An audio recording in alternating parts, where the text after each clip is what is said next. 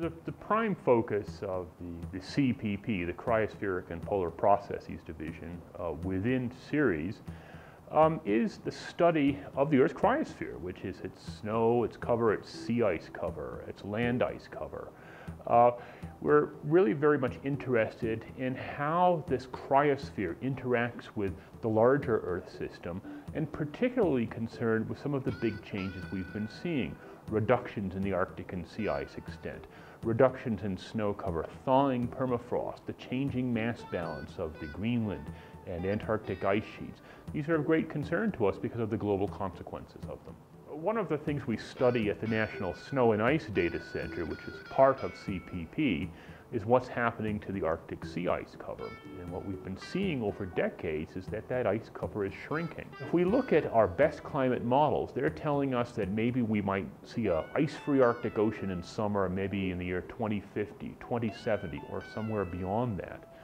But what we're finding is that the loss of ice is actually quite fast and that those are probably conservative numbers. Uh, we're thinking that seeing essentially a blue Arctic Ocean in the summer uh, might be realized as early as uh, 2030, and the ramifications of that are really pronounced.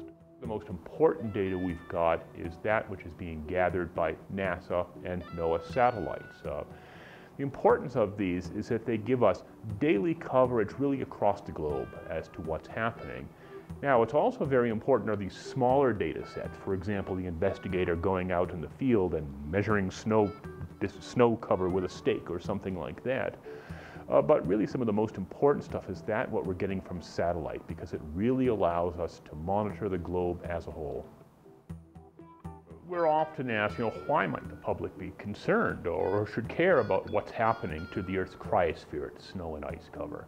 And the answer is that the changes we're seeing uh, affect all of us. For example, right here in Colorado, of course, the ski industry is so strongly dependent, of course, having a good winter snowfall.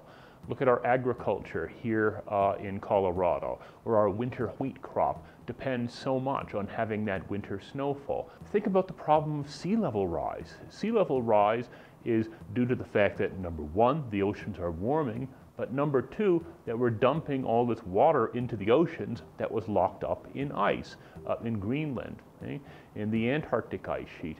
Now this sea level rise has great societal consequences. So the work we're doing here really is very relevant uh, to the world's problems.